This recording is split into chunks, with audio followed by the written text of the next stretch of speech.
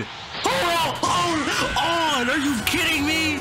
Oh my god. Oh my god. Oh my god. Oh my god. Oh my god. You guys don't even understand how excited I am for this.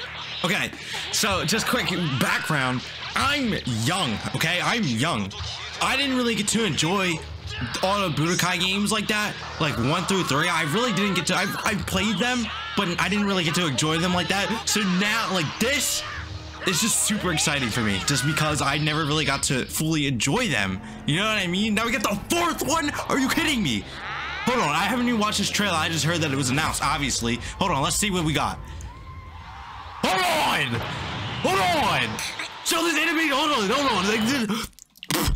Hold on! This is like the render, look at that. It's just so, it looks so crisp and he's going blue. Hello? Hold on! Hold on! Hold on! Are you kidding me?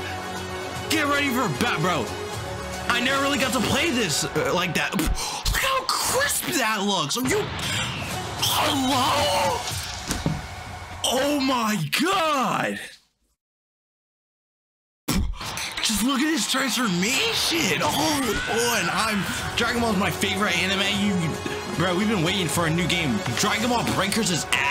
Nobody plays that game. We've been wanting Xenoverse 3, but I'll take this, man. I will take this. Like I used to play like Raging Blast and stuff back in the day, but like I never really got to enjoy the Budokai games.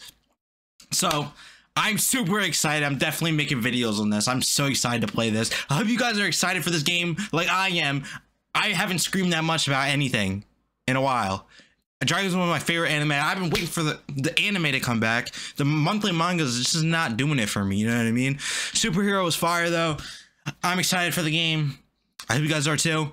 That's it for me. I just wanted to make this video reacting to this real quick because I have not seen this.